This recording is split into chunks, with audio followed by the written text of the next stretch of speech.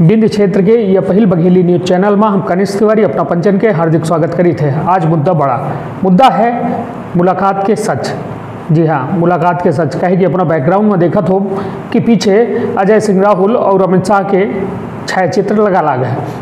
और यह मुलाकात के सच आज हम पर्दाफाश करे। जैला है पर्दाफाश ऐसे कि कोनो चीज़, कोनो व्यक्ति के इज़्ज़त, मान सम्मान के साथ कबो खिलवाड़ न करे चाहिए। कहे कि सोशल मीडिया के सदुपयोग है और दुरुपयोग है।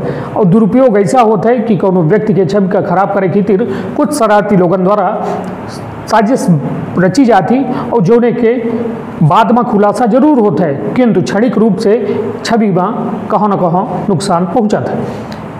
यह पूर्व मामला है, अजय सिंह राहुल के, और उनके बारे में सोशल मीडिया में यह अफवाह फैलाई जा रही, कहे कि अभी हाल ही में विधानसभा में नारायण त्रिपाठी, मैहर विधायक के सदस्यता कांग्रेस के ले के बाद अजय सिंह राहुल खेमे में और अजय सिंह राहुल व्यक्तिगत रूप से कुछ नाराज़गी चल रही। जो उन्हें कल के शरारती तत्व के द्वारा अफवाह सोशल मीडिया में फैलाई गए कि अमित शाह राष्ट्रीय अध्यक्ष भाजपा के संपर्क में है अजय सिंह राहुल।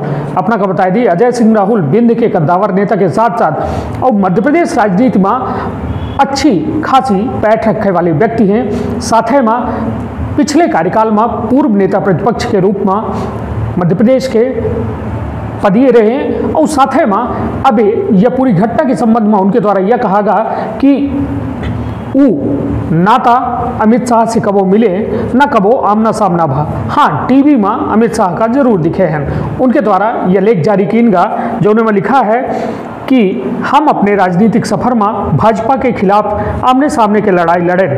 और ये वजह से भाजपा के नेतन के हम निशाने में रहें।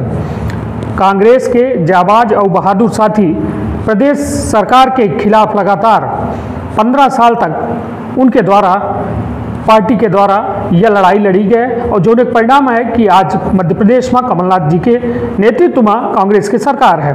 उनके द्वारा यह कहा गया कि हमका यह अच्छी तरह से पता है कि हमारा सिद्धांत का है।